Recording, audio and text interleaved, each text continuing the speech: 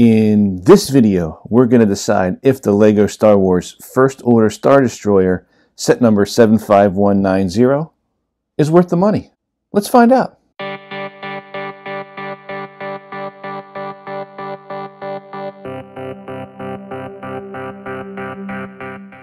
Hey guys, welcome to Hobby Bricks.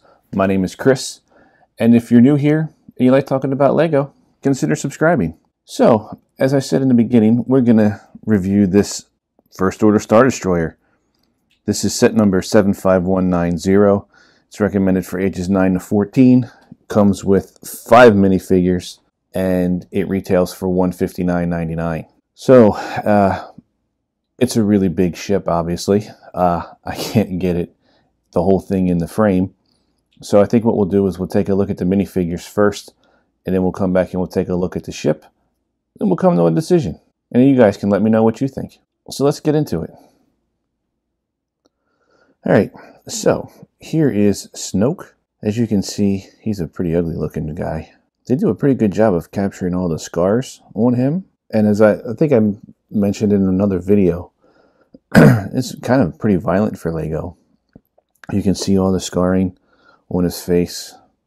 He's got some scarring on the back of his head there.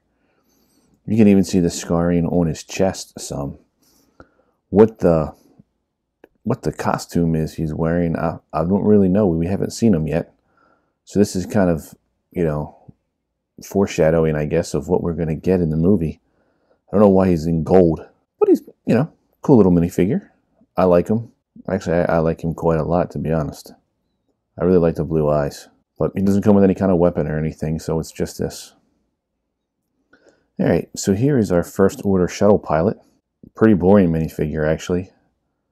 Not much detail work there on his torso. No real print work anywhere. Um, the one cool thing he does have, I really dig the helmet. I think that helmet's really cool.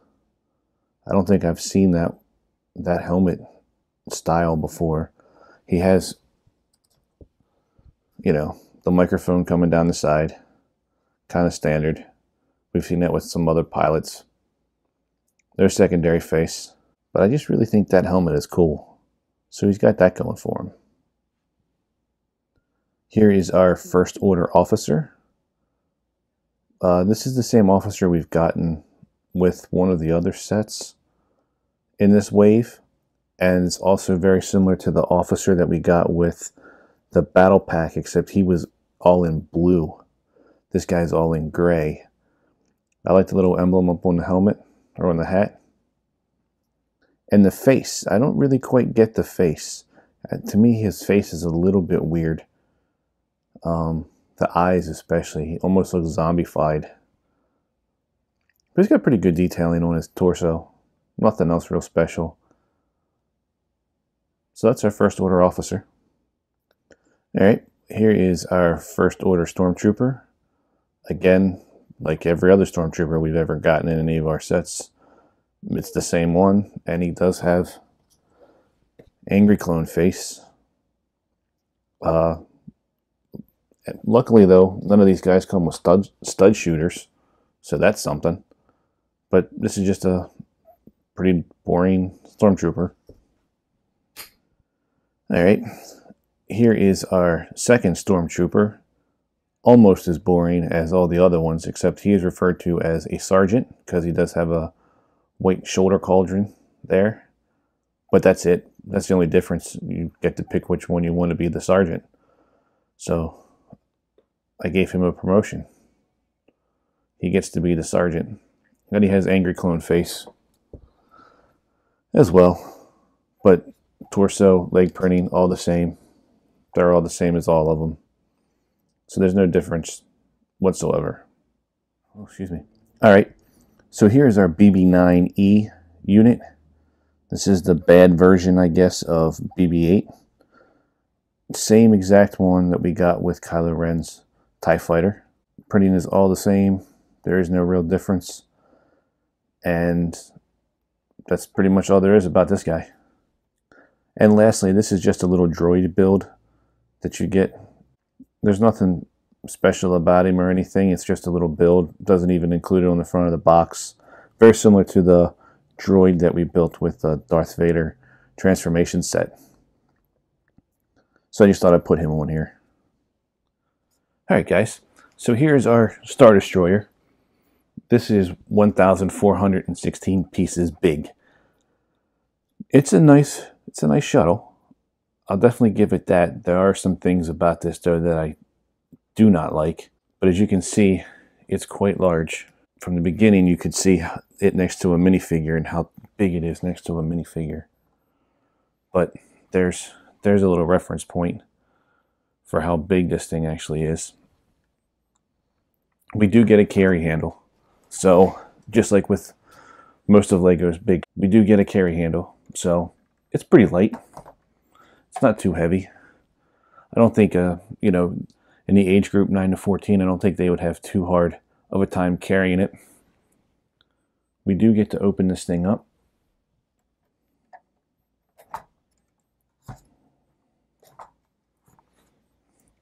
And as you can see, it opens up pretty nicely there. There is no real way for Lego to hide all the undersides of all of the Lego pieces. But I don't think it looks horrible. It's actually not too bad with the black. The, the biggest probably eyesores would be the Technic pins along the sides there. Why they made them red and not black, I don't know, but that's what we have to deal with, I guess. Not too many stickers with this set. These are all stickers over here. Uh, these are printed. No, I take that back. These are stickers as well. So we have some operating rooms here for everybody, for all the minifigures. We have plenty of room. We have another spot over here. Some more room. We got a little table build. We have a table build here. We have some seating around the table. We do have a little elevator that can go up. And on the box, it shows Snoke standing up here, right here. And then we also have this hologram piece. And we get this hologram piece that comes with the set. I do not know who that's supposed to be or what it's supposed to represent. On the back of the box, it shows Snoke standing up there on the top ledge looking at this. So I don't know if that's a, it's usually that's somebody that you're communicating with. So take a guess as to who or what you think that is. Because Snoke definitely doesn't have a cape. And it's definitely some kind of a figure in a cape and a hood. So I guess we'll have to wait and see who that is. There's plenty of room for our minifigures. Have a nice little, these are our stickers, but we have a nice walkway here. Some seating, more computers down here.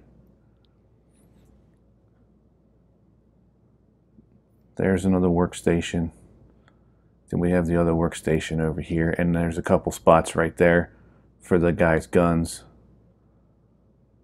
And that's right there where they show Snoke standing talking to the hologram. But that's the inside. So, I mean, there is room here for all the minifigures you get. And there's room for some extra ones if you have some extra stormtroopers, which we do because they all come with stormtroopers, all of these sets pretty much. So we do have we have room for them we have room for extra officers if need be. But in general, on the inside, it's not that bad. My problem kind of comes with the outside. Here's the outside, obviously, again, of our ship. But my real problem comes with right here, these stud shooters. These stud shooters, I thought you could turn them, but they're stationary. That you can't move them, you can't adjust them, you can't elevate them, you can't do anything with them. And that to me is kind of, it's just kind of boring. We does not, this is the only build that doesn't come with missile launchers. So you can't fire anything out the front and you can only shoot to the side and kind of down. So that's kind of a, in my opinion, a bad play feature. I mean, what can you do with that? You got them on this side as well. Right here. So all in all, you have eight of these things. But what can you do with them? I mean, as you can see, they're pointing downwards unless you're going to be shooting at some minifigures, but that doesn't really make any sense in the sense of it's a starship. What do you do with that? You don't, not, it's not on the ground shooting at people. So I'm a little disappointed there. The other detail work on the outside, I do like the antenna dish that we have. That's a nice little piece, aesthetically speaking. Here's the back of the shuttle. As you can see, we've got some pretty big engines. Three of them and eight small thrusters. That's pretty much our shuttle, guys. I mean, I don't really know what else to say about it. It's it's big, it's nice, but uh, it's not exactly what I was thinking it was going to be. All right, so let's get into our final verdict. All right, guys. So, in conclusion, is this set worth the money? No, I don't think so. Not for $159. I mean, you, you get five minifigures. You do get Snoke, and you get the pilot, who is, I guess, an exclusive figure with this. But the officer and the two stormtroopers you get with other sets, other than the one being a sergeant. And that's just a shoulder pauldron. I mean, there's nothing else to it. BB-9E you get with the much cheaper Kylo Ren ship. You know, Snoke is the standout minifigure of this whole set. But it's the same gripe that I kind of had with the Heavy Walker. Snoke is this mysterious guy that we don't know anything about. But the only way to get the minifigure is to buy the most expensive set. And then we don't get any missiles. All you get are stationary cannons that shoot downwards. I, I don't know how that's supposed to work. That doesn't really make sense, at least in my mind, and I'm sure in a kid's mind who's trying to play with this. What? How do you shoot at the bomber, or how do you shoot at an A-wing or an, an X-wing? I mean, unless you position it up high and it aims downwards. But most kids don't don't do elevation. You know, it's straight on, and you have there's there's nothing. So I'm I'm kind of bummed out about that. Kind of bummed out about the price. I mean, $160 for 1,400 pieces doesn't really compute there either. You do get a lot of big pieces, but boy, you get a lot of little pieces. A lot of little pieces. So I don't really know how that all works out. Well, I didn't have a Star Destroyer. Now I have one. I don't know if this is what all the other Star Destroyers are like, or if this is what you should consider, you know, as the, the pinnacle of their Star Destroyer design. If so, I, I don't really see another need to get another one. All right, so that's my thoughts. You guys tell me down below in the comments, what do you think? Is this a good set? Is this a bad set? If you like the video, give it a thumbs up. If you don't like the video, give it a thumbs down. Like the channel overall and want to continue the LEGO discussion, consider subscribing and I will see you guys in the next video. Bye for now.